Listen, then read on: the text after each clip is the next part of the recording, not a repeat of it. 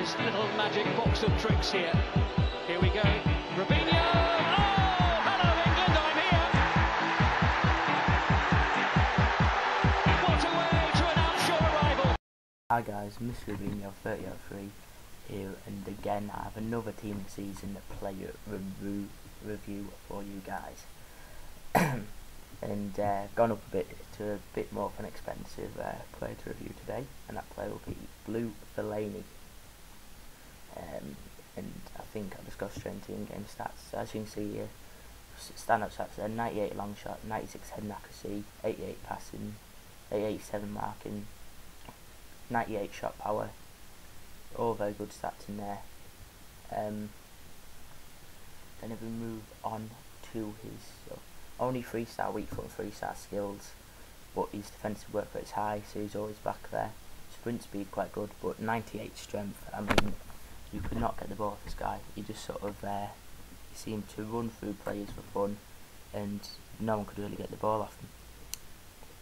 So guys, get into the video here, and um, he's definitely the best blue player I've played with on this game so far. Had uh, absolutely lethal right foot. Um, and for his height, his dribbling seemed extremely good. His skill move, and just like how he could get past players but he didn't really need any of that because he could just run straight at a player. He would just sort of knock them down to get the ball. Um, got a bit lucky with the deflection on that goal, but um, yeah, I thought he was a really good player and one of the only players I would say is definitely worth their money at the moment on this uh, on uh, these team of the season players. But then he's definitely worth his money. He's around 300k on the Xbox. Not too sure about PS3 or PC, but I know he's about uh, just under 300k for Xbox. Um, so, guys, I would definitely recommend picking him up if you can. Now, the negatives of this guy, um, probably work rates, but it depends whether you see it as a negative or a positive. Um, since he's a centre attacking midfielder, he had high defensive, medium attacking, so it meant sometimes he was a bit too far back than you wanted him, but sometimes that paid off because he was there to make the tackles at the back. And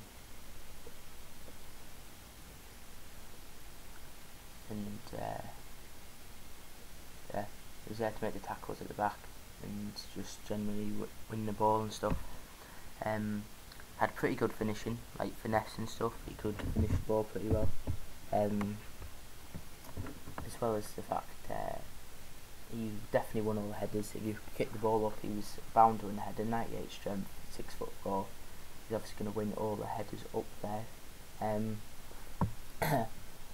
and then also, so guys, hope you're enjoying this team of the season play review. Um, I'll be sure probably to put another one up uh, to, again today, if not maybe tomorrow. Uh, but guys, please like and subscribe.